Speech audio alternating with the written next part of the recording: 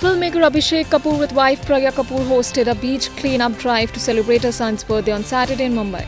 Several celebrities extended their support, including Nora Fatehi, Radhika Madan, Sussanne Khan, Abhimanyu Dassani, Mrunal Thakur, Neha Dhupia, Angad Bedi, and others.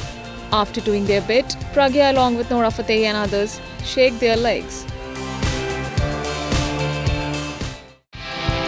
Subscribe to our channel. Just click on the bell icon for all the latest updates.